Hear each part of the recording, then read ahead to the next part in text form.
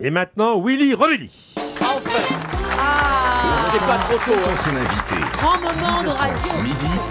Oui. Alors je sais que devant nous, tous les habitants de Valmorel et des avancés sont venus pour Willy Revelli. Il y en a qui ont couché devant l'hôtel, qui sont venus en pot de phoque pour l'applaudir. en Allons-y. smart. Allons-y, Willy. Eh bien, merci d'être Willy. voilà, bah, merci d'être venu ce matin, cher Antoine Duléry. Voilà, c'est déjà fini. Dis donc, vous avez eu de la chance. Hein. Vous, on vous invitez ici au Club Med de Valmorel. C'est Patrick Fiori qui doit faire la gueule. hein. La dernière fois qu'on l'a amené avec nous en déplacement, il s'est retrouvé sous une tente à Mulhouse. Ah, le décor était pas le même. Une vraie tente bédouine, tu sais, à la Kadhafi. L'autre, t'as vu, on a su qu'il prenait du Viagra, Kadhafi. hein. On sait comment il la faisait tenir, sa tente. Ah. Remarquez, c'est logique qu'on vous a amené avec nous. Antoine, vous êtes quand même l'enfant du pays, hein, puisque vous êtes breton. Hein, sûr, oui, Bretagne, oui, juste à Savoie, côté. Voilà, Bretagne, C'est pareil, Savoie, c'est la c'est même kiff chose. kiff. Hein. C'est- C'est Chaque- jumelé. ah bah, C'est jumelé. c'est quoi. jumelé. Bré- Bréa et Valmorel. Eh oui, à chaque, Exactement, fois, nous, à exactement. chaque fois, nous sommes très rigoureux en ce qui concerne la programmation des Et la invités. géographie. Bah oui, nous sommes très rigoureux en ce qui concerne la programmation des invités. Fiori le Corse à Mulhouse, hein, l'autre il faisait ses polyphonies. Ah Ta gueule Lui ont répondu les Alsaciens qui savent recevoir, non? Vous avez vraiment eu de la chance de venir ici parce que ce club maître de Valmorel, dis donc, il est magnifique. hein. Comme l'a dit Henri Giscard d'Estaing, le président du club. Ici, le rapport qualité-prix est exemplaire. C'est fou comme il ressemble à son père, dis donc. Hein. C'est magnifique, mais je suis un peu déçu. hein. Pour moi, le club Med, je croyais que c'était comme dans les bronzés. Tu sais, du coup, moi, hier soir, en descendant du car. euh, Salut les filles, on baise Je me suis dit, je vais enfin perdre mon dépucelage dans son haut lieu de débauche. Mais on a été reçus par Henri Giscard d'Estaing. Bienvenue dans notre nouveau complexe haut de gamme. Voilà, bon, pas terrible. C'est vrai que ça m'a coupé la chic. Bon, en tout cas. C'est bien ça, 5 minutes de l'in- de l'inauguration. De l'inauguration, c'est bien. Tous à l'aise. Oui. En tout cas, il nous a pas menti. C'est vrai que c'est magnifique ici. Le personnel, les géos, dis donc, ils sont super sympas. Toutes les 20 secondes. Bonjour, vous allez bien? Oui. Bonjour, vous allez bien? Bonjour, vous allez bien? Moi, je viens de Paris, autant de politesse, je suis pas habitué. Alors ce matin, il y en a une qui m'a dit Bonjour, bien dormi, ta gueule Oui, tu t'es cru à Paris, quoi. Ah bah oui, ça m'a fait du bien Non, de on, gueuler. est, on attends. est bien reçus, c'est vrai. Attends, 24 heures que j'avais pas crié, je me sentais bizarre. Non, on est tellement bien ici que du coup, hier soir, on a tous fait la fête.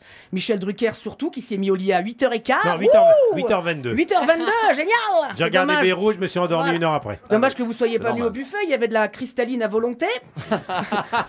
non, c'est bon, attends, c'est bon. En plus, je comprends pourquoi le club Med cartonne partout dans le monde. Récemment, ils ont ouvert un club en Chine.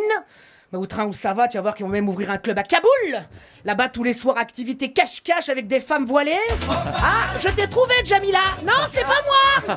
Ah merde, Moufida. Non, c'est pas moi. Ah, je me fais toujours avoir.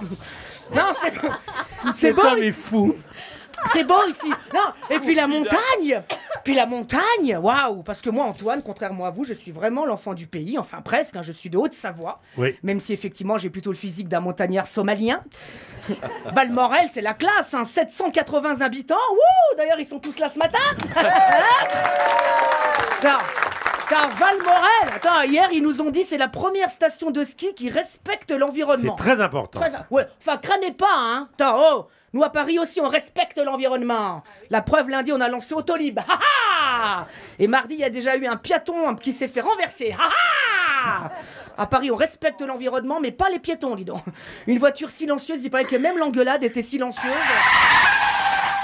Aïe, enfin, vous pouvez pas faire attention Mais c'était vert, non, c'était rouge, pas fort Oh, et engueulez-moi moins fort, merde, allez faire Non, mais c'est vrai que la montagne, c'est magnifique. hein. Tu sais qu'au début, un Parisien qui décide de venir vivre à la montagne, c'est...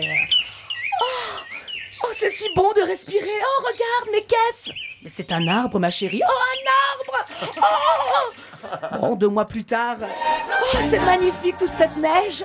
Le chasse-neige a même obstrué notre chemin. On ne peut plus sortir, comme c'est mignon. Et un mois plus tard... Putain, mais jamais ça s'arrête de tomber, merde. Et ce connard de chasse-neige, là, qui nous fout toute sa merde devant la porte. Faites des valises, on se barre ah, la vie à la montagne est dure. Moi, j'ai un ami agriculteur qui habite pas loin d'ici, qui vit seul depuis toujours. Il a même fait l'émission L'amour est dans le pré pour s'en sortir un peu, tu sais. Bon, comme il a toujours pas, toujours pas trouvé l'âme sœur, bah pour lui, l'amour est encore dans l'étable. Oui, j'arrive, mon amour La vie à la montagne est rude. La vie à la montagne est rude, mais tout le contraire de vous, cher Antoine. Vous êtes un acteur souple qui passe de rôle comique au rôle dramatique avec la grâce d'un flocon de neige.